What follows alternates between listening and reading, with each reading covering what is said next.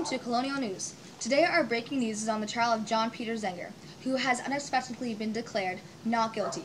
He is here to tell us more about how he got into this mess in the first place. Welcome, Mr. Zenger. John, when you were printing the journal, did you know you were printing it libel? And if so, why did you do it? Yes, I was well aware of the libel I had written, but I feel that the people need to know what the truth about their leaders and the scandalous events, such as the case of Van Dam in association with Cosby during 1731. Eventually, a trial did occur. What were you thinking during the libel?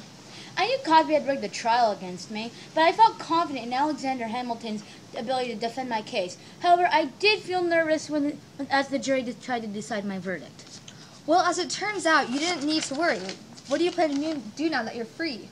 I believe I will continue to, to keep on publishing the journal until my demise. The newspaper would then be passed on to my living family. Thank you, reporter Salvador. Here with me is the lady of our colony, Miss Katrina. Miss Katrina, how do you feel about John Zenger's action? What do you mean, how do I feel? Everything he did was completely appropriate. He was only trying to, to defend what he believed. Anyone who says otherwise is completely out of line. Governor Cosby does not know how to control the common people. Excuse you? How dare you say such things about our own governor? Governor Cosby would never do such a thing.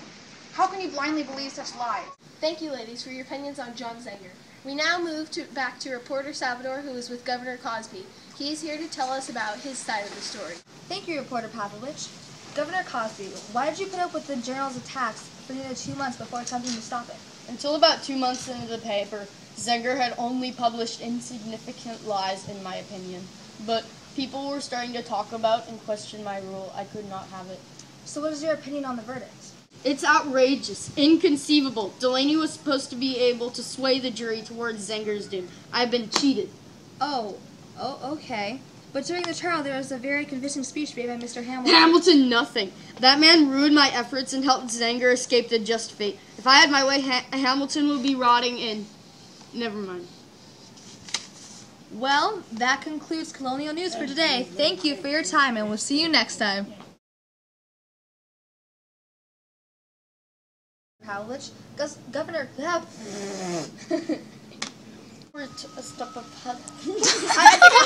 We're a step ahead. I think